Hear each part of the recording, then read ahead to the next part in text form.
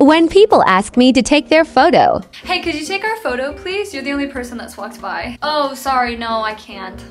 Are you serious? Like, that's so rude. Hey, chill out. She's allowed to make her own decisions. Don't be a people pleaser, right? Oh, I'm actually just blind, so like the photo would have not been that great. Oh my gosh, I'm so sorry for calling me rude. Know that you're blind, like, that must suck.